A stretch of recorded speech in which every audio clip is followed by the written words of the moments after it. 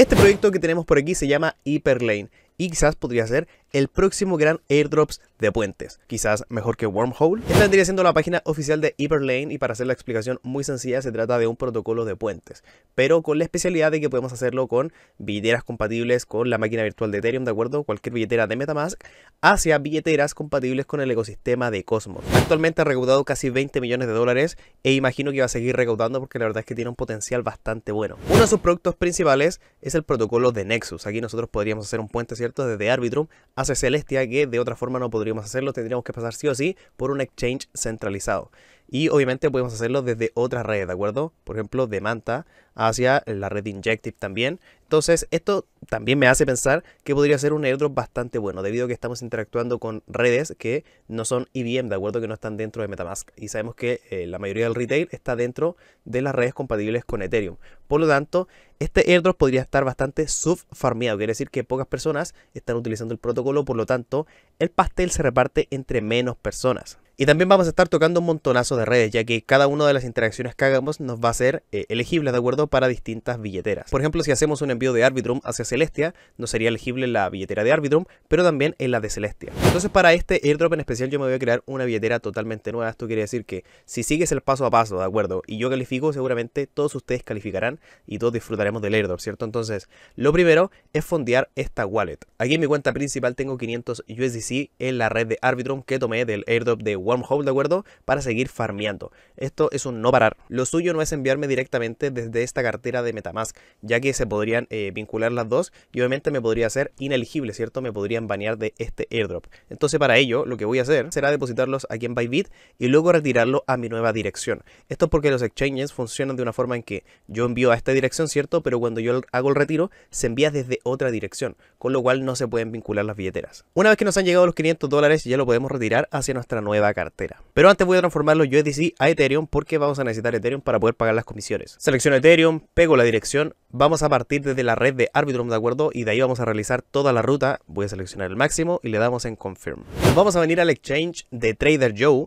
Eh, vamos a colocar Ethereum arriba. Abajo vamos a seleccionar TIA, ¿de acuerdo? TIA.n. Vamos a seleccionar eh, el máximo, ¿de acuerdo? Pero nos vamos a dejar un poco para pagar las comisiones. Yo lo voy a hacer más o menos con unos 500 dólares. Tú lo puedes hacer con mucho menos, con 150 dólares, ¿de acuerdo? Creo que eh, los bridge son bastante baratos, pero yo lo hago con 500 para poder hacer un volumen bastante considerable de una vez. Entonces le damos en swap y confirmamos la transacción. Lo bueno que en Arbitrum ahora las comisiones son mucho más baratas. Volvemos a Nexus y el día de hoy veremos una ruta en específica. Podemos hacer muchas rutas. En el futuro supongo que voy a traer más rutas si es que les gusta este video. Así vemos también más formas de calificar a este airdrop, ¿de acuerdo? En la primera vamos a hacerlo desde Arbitrum hacia la red de Neutron, ¿de acuerdo? Vamos a seleccionar el token TIA que acabamos de comprar, seleccionamos el máximo y ahora nos piden una dirección de envío. Para ello vamos a necesitar la wallet de Kepler que ya hemos visto en otros videos, así que te la voy a estar dejando bajo la descripción. Se instala como cualquier otra, nos va a permitir interactuar con la red de Cosmos. En este caso ya tengo una creada, por lo tanto me voy a crear otra, ¿de acuerdo? Le voy a dar a crear nueva wallet, le vamos a crear nueva frase de recuperación, guardamos las palabras en un lugar seguro, pasamos la verificación de las palabras y le colocamos un nombre a la wallet. Aquí tendríamos la wallet con cero fondos, para poderlos enviar tenemos que copiar esta dirección, pero tenemos que buscar la red de Neutron, así que le vamos a dar por aquí y luego a Manage Chain. Aquí buscamos Neutron, ¿de acuerdo?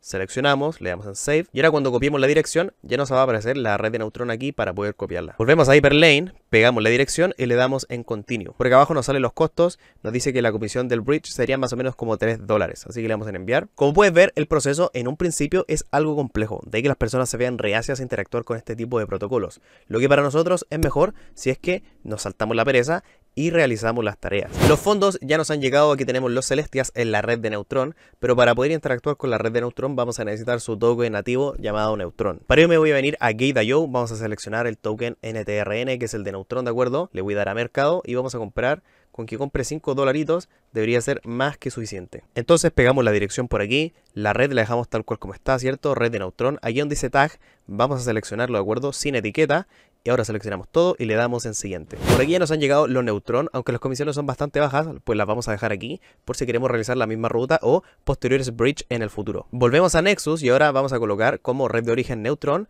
y red de destino Celeste, ¿de acuerdo? Para que nos tome en consideración la wallet tenemos que darle clic por aquí, luego en Connect Wallet y ahora seleccionar Cosmos, Kepler e inmediatamente ya me sale el balance por aquí, le vamos a dar el máximo, ¿de acuerdo? Para que nos salga la dirección de Celestia nuevamente tenemos que venir por aquí, ¿cierto? Y agregarla. Ahora sí ya podríamos darle por aquí y copiar la dirección de Celestia, pegarla por aquí y darle a Continue. Como ves en este caso la comisión es extremadamente baja. Lo que haremos ahora será seleccionar la red de Celestia y la red de destino será la de Manta, ¿de acuerdo?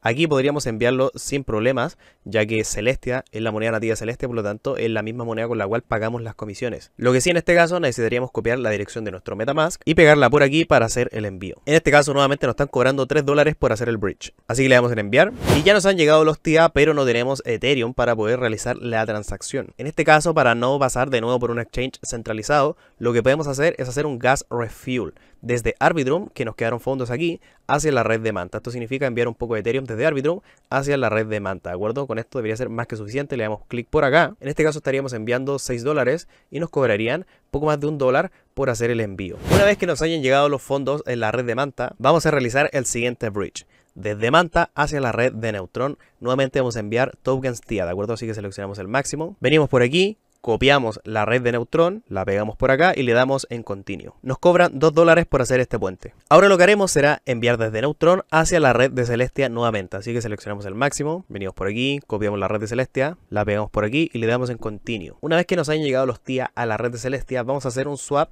dentro de la misma billetera de Kepler, ¿de acuerdo? Vamos a transformar los TIA en Celestia hacia la moneda INJ quiere decir Injective de la red de Injective. Así que selecciono 37, por ejemplo, me dejo un poquito para pagar el gas, le damos en Next y luego en Approve. Ahora vamos a venir a este otro bridge, el cual nos permite enviar desde la blockchain de Injective, de acuerdo en el ecosistema de Cosmos, hacia la otra blockchain que tiene Injective, pero en este caso compatible con la red EVM, ¿de acuerdo? Simplemente seleccionamos el máximo, copiamos nuestra dirección de Metamask, la pegamos por aquí y le damos en Continue. En este caso nos estarían cobrando un dólar. Ahora vamos a realizar el mismo procedimiento, pero a la inversa, ya que en esta red no hay mucho que hacer. Hasta aquí la ruta por el día de hoy estaría terminada, ya que hemos realizado muchísimas transacciones. Ahora si queremos retornar los fondos hacia la red de Arbitrum, pues tendríamos que realizar el proceso inverso, ¿cierto? Pasar los INJ a Celestia, luego de Celestia a Neutron y luego de Neutron hacia Arbitrum y ahí podemos intercambiar nuevamente los TIA hacia Ethereum o hacia moneda estable y hacer lo que querramos. En este caso, como dije anteriormente, hemos realizado muchísimas transacciones, podría ser sospechoso, por lo tanto me voy a esperar un par de días, quizás una semanita y voy a realizar el proceso contrario para retornar mis fondos hacia la red de Arbitrum y así también hacemos más interacciones. También para los que quieran seguir generando interacciones a lo largo de la semana mientras traiga el otro video, aquí en el protocolo de Merkley, además del gas refuel, eh, hay un apartado que se llama Hyperlane. Aquí nosotros podemos crear un NFT y utilizar el bridge, o sea, la tecnología de Hyperlane para traspasar este NFT de una red a otra. Entonces, eh, cada bridge que hagamos con este NFT valdría como una nueva interacción. Entonces, nosotros ahí ya tendremos que buscar cuáles son las redes más baratas para ir haciendo eh, las transferencias, ¿de acuerdo? Primero que todo, obviamente, tenemos que elegir una red, por ejemplo, la de Optimism, y darle en Mint. Una vez que la hayamos mintiado, tenemos que elegir la red de destino. De acuerdo, tenemos todas estas de por aquí, algunas más baratas que otras, aunque eh, ahora con la actualización en Ethereum, pues casi todas las redes son muy baratas.